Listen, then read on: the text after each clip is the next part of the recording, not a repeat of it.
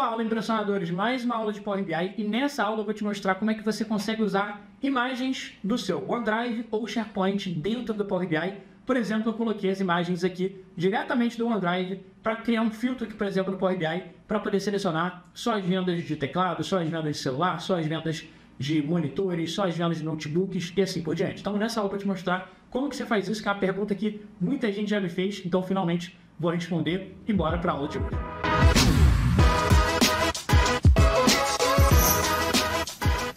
Então vamos lá, qual que é a grande ideia? Aqui é o seguinte, dentro do Power BI, a gente tem essa, esse filtro, que é a segmentação de dados nova, se você não tiver, é só vir aqui em arquivo, depois opções e configurações, opções para você habilitar essa nova segmentação de dados, que aí você vai ter aqui do lado esquerdo, ó, você vai ter recursos de visualização, e aí você idealmente deixa tudo é, deixa tudo marcadinho aqui, que ele vai sempre deixar tudo bonitinho aqui para você em termos de, de funcionalidades novas, vai ter habilitado. Então você pode deixar tudo habilitado para você ter acesso às ferramentas novas, às, a, a, tudo que tem de novo aqui no Power BI.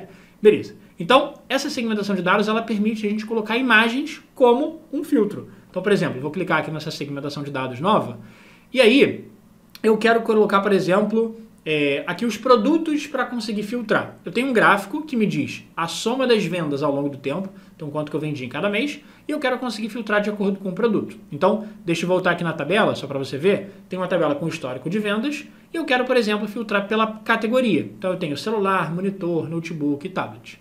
É, e teclado, na verdade. Bom, e aí a gente vai conseguir colocar as imagens, mas só para você ver qual é a lógica, eu viria aqui na base de vendas, por exemplo, colocaria a categoria aqui dentro do campo, ele vai me permitir filtrar celular, monitor, notebook e teclado.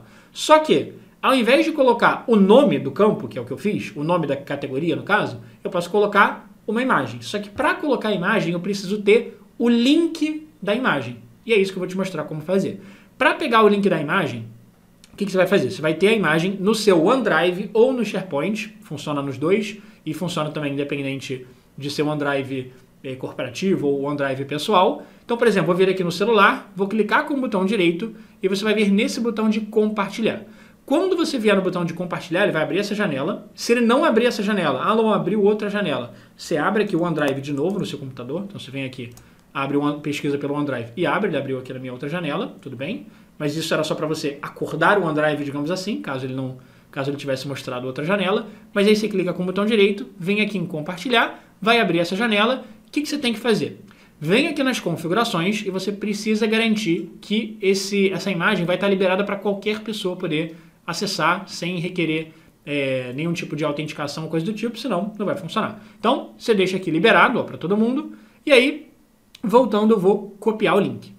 O problema é, se você só usar esse link, deixa eu abrir aqui um bloco de notas, se você pegar exatamente esse link e tentar usar lá no Power BI, não vai funcionar. Então eu vou te mostrar o que, que a gente tem que fazer com esse link. E antes disso, deixa eu só te mostrar o que, que esse link resultou aqui pra gente. Esse link resultou no seguinte, ó, deixa eu abrir aqui uma, um novo navegador. Eu vou colar esse link aqui dentro do navegador e aí olha só como é que ele vai aparecer. Ele vai aparecer da seguinte forma. Aqui a gente tem a imagem, beleza, dos celulares, só que quando a gente fala de colocar, de colocar link da imagem no Power BI, a gente precisa ter o link que leva a gente somente para a imagem crua e mais nada. Como assim, Alô? Aqui, além da imagem nesse site, eu tenho o botão de download, eu tenho o botão de compartilhar, eu tenho o nome da imagem, eu tenho configurações de edição, de compartilhamento, eu tenho essa caixinha aqui de pergunta e tudo mais. Só que eu preciso de um link que me leve para a imagem e mais nada. Só assim funciona no Power BI. Tem que ser imagem nua e crua. Como que eu consigo fazer isso então? Ao invés de ser esse link, eu vou fazer uma única modificaçãozinha nesse link que é, eu vou apagar tudo que está depois do ponto de interrogação, então tudo que está depois de ponto de interrogação, eu vou escrever o seguinte, download igual a 1. Só isso, download igual a 1. E aí você vai copiar esse link, e só para te mostrar, a gente não, nem precisava jogar aqui no navegador, só estou fazendo para te mostrar. Olha só, vou abrir aqui uma nova aba, vou colar e dar Enter. Olha a diferença do link anterior para esse. O link anterior, ele mostrava um monte de outras coisas. Esse link novo, ele mostra somente a imagem imaginada. É isso que eu preciso. Então a gente vai fazer, a, a ideia é fazer isso para cada uma das imagens, então para celular, para o monitor, para o notebook e para o teclado. E para facilitar, eu já copiei o link de todos eles aqui. Já deixei pra gente num bloco de notas, que você pode baixar aqui na descrição também. E a gente só vai ter que fazer essa modificação. Então, ó, o celular está aqui, o monitor, o notebook e o teclado. Então, o que, que eu vou fazer com eles? Eu vou copiar esse link e eu vou criar um novo link certinho. Ó. Então, vou chegar aqui depois do ponto de interrogação, download igual a 1. A mesma coisa com esse aqui. Eu vou copiar esse link do monitor, vou colar. Na verdade, eu poderia até ter deixado, eu poderia até ter substituído aqui, ter substituído aqui direto, só não substituir aqui direto, só para você poder fazer isso também, só para eu não mexer aqui no arquivo original. Então, vou colocar, depois da interrogação, download igual a 1. A mesma coisa aqui para o notebook, vou dar um Ctrl C, Ctrl V, e vou colocar download igual a 1. E a mesma coisa aqui para o teclado. Então, colei, vou colocar aqui depois do ponto de interrogação, download igual a 1. Perfeito. Agora, o que a gente vai fazer com isso? A gente precisa fazer o quê? Lá na nossa tabela, no Power BI, eu preciso ter uma coluna que tenha esses links. Então, sempre que tiver escrito aqui celular, eu preciso que do lado, na mesma, na, na mesma linha, esteja o link do celular. Sempre que tiver escrito aqui, ó, teclado, eu preciso que numa outra coluna, nessa mesma linha, esteja o link do teclado e assim por diante. A melhor forma da gente fazer isso é, por exemplo, usando uma fórmula if, uma fórmula C, e no caso a gente vai usar a fórmula switch, que é uma versão um pouquinho melhorada ali da fórmula C, da fórmula if. Por quê? Porque eu vou falar assim, se a categoria for celular, vou botar o link do celular. Se a categoria for teclado, boto o link do teclado e por aí vai. Beleza, então vamos criar uma nova coluna aqui na tabela, botão direito, nova coluna. E eu vou chamar essa coluna aqui de imagem. Então vou chamar essa coluna aqui de imagem. Beleza, e aí eu vou colocar aqui, ó, if, na verdade ao invés do if a gente vai usar a fórmula switch, que ela é um pouquinho mais é, ela é um pouquinho mais direta de usar. Então ela vai perguntar assim: qual é o valor que você quer testar, que você quer verificar? Quero verificar qual é a categoria. Então vou escrever aqui a coluna: categoria. Show. Perfeito. Vírgula. Agora você vai colocar qual é o valor que você quer eh, testar, se é, se é aquele valor que está sendo usado na categoria naquele momento. Vou colocar, por exemplo, tanto faz a ordem que você for começar. Vou começar, por exemplo, com celular, entre aspas, porque é um texto vírgula. Agora você vai escrever o resultado se a categoria for celular. Então, se a categoria for celular, qual é o resultado que eu quero? Eu quero colocar o link do celular. Então, eu vou puxar aqui, ó, o link da imagem do celular. Cadê, cadê, cadê? Ó, celular. Esse link aqui com download igual a 1. Ctrl C. Vou voltar no Power BI e vou dar um Ctrl V. Só que eu tenho que colocar isso aqui entre aspas porque também é um texto. É um texto do link. Vírgula. Agora, qual é o segundo valor? Aí tanto faz a ordem. Vou colocar, por exemplo, teclado. Lembrando de colocar igual que está escrito. Então, se tiver teclados, tem que, escrever, tem que escrever teclados. Maiúsculo, minúsculo não faz diferença, mas todas as letras e acentos tudo fazem sim. Então, teclado, vírgula. Qual o segundo resultado? Ou seja, se for teclado, qual o resultado que eu quero na fórmula? É justamente o link do teclado. Então, vou pesquisar aqui, ó. Cadê? Teclado. Vou copiar o link, Ctrl C, Ctrl V e vou colocar as aspas. Vírgula. Qual é o próximo aqui? O próximo vai ser, por exemplo, vou colocar monitor. Vírgula. Tá certo isso aqui? Porque ele tá... Ele não me sinalizou nada, hein? Ah, tchau, tchau, tchau. Deixa eu ver. Ó, teclado, vírgula. Deixa eu ver se tá tudo certinho. Ó, por que, que eu tô estranhando? Porque ele... Porque normalmente ele me sinaliza quando eu passo para a próxima parte da fórmula. Tô sabendo se eu não esqueci de alguma de alguma coisa. A princípio acho que não. Se tiver esquecido, ele vai me avisar. Depois do depois de eu terminar a fórmula, ele vai falar se teve algum erro. Mas então, se for teclado, vou colocar aqui o valor do teclado. Vírgula. Agora, se for monitor, deixa eu ver aqui que já foi, celular, teclado. Agora, se for monitor, eu quero colocar, opa, esqueci o, as aspas aqui do monitor, vou colocar o link do monitor, então vou colocar esse, esse link aqui, Vou colar, então, ó, entre aspas, vírgula. Agora eu vou colocar o último, que é o notebook. Então, se for notebook, vírgula, eu quero colocar o link do notebook, esse aqui. Então, Ctrl C, Ctrl V, entre aspas, fecha parênteses e dá Enter. Vamos ver se está certinho. Ó, parece que foi. Ele só parou de me sinalizar se eu estava no valor 1, valor 2 e assim por diante, mas a princípio parece ter funcionado. Então, olha só, tudo que for é, tudo que for celular, tá com o link do celular. Tudo que for teclado, tá com o link do teclado. Tudo que for notebook, tá com o link do notebook e assim por diante. Ó, por exemplo, aqui tem dois links diferentes. Vamos ver se são os produtos diferentes. Ó, teclado e monitor está apontando aqui para os links. Show! Beleza. Agora o que, que, você vai fazer? Você vai vir aqui no relatório, você vai vir nessa, nessa segmentação de dados ou em algum outro gráfico que, este, que você esteja usando que permita imagem. E eu vou colocar aqui dentro do campo a imagem. Então você vai jogar a imagem aqui dentro e você vai falar, o Elon, você não falou que era para funcionar?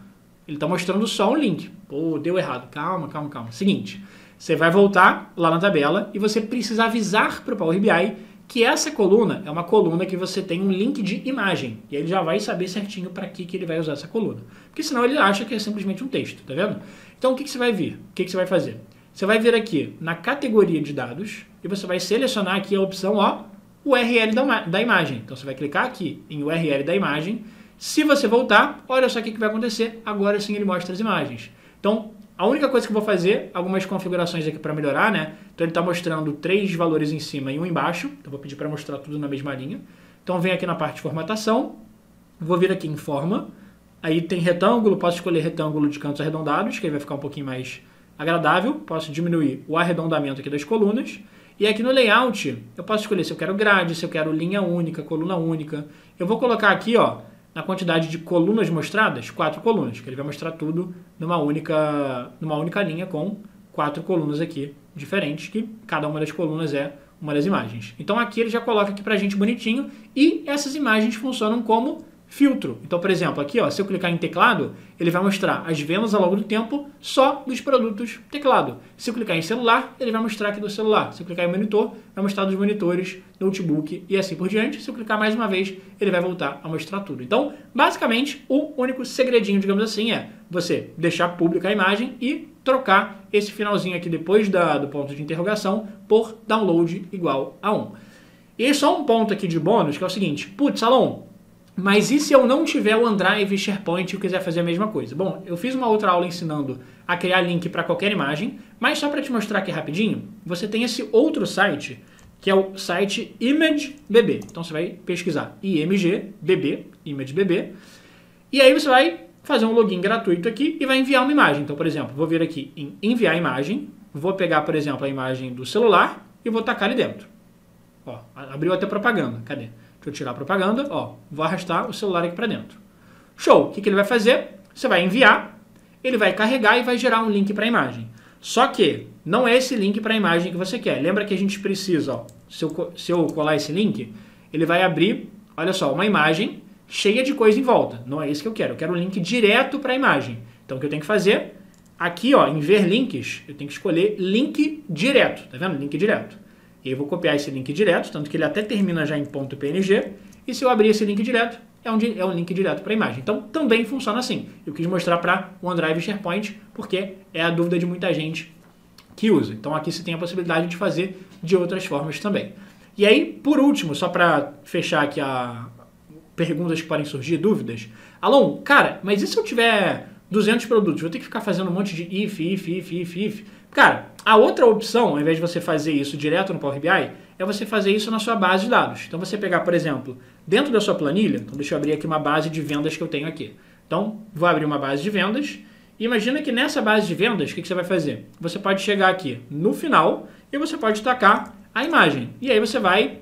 É, você só não vai ter que fazer fórmula, mas você vai chegar aqui, por exemplo, para a categoria camisa, e aí dentro da categoria camisa, que não, a gente não tinha lá, mas isso aqui é só um exemplo, aí você colocaria a imagem da camisa. E aí você, co você copiaria para todas as linhas que contém a camisa, porque eu filtrei aqui a camisa, beleza? E aí você faria a mesma coisa aqui para o casaco.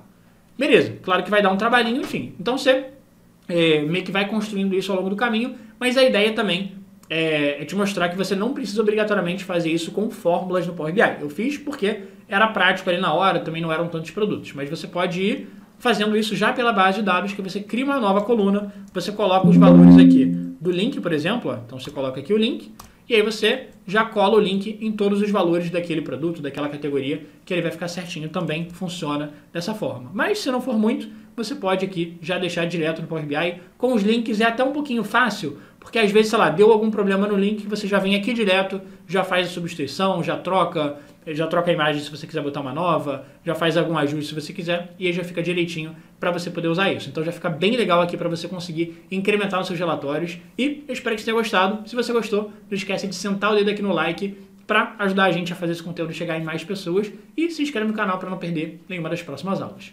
Para não esquecer, aqui na descrição do vídeo vou deixar o link de um mini curso gratuito de gráficos no Power BI para você aprender ainda mais sobre essa ferramenta, dominar ainda mais o Power BI.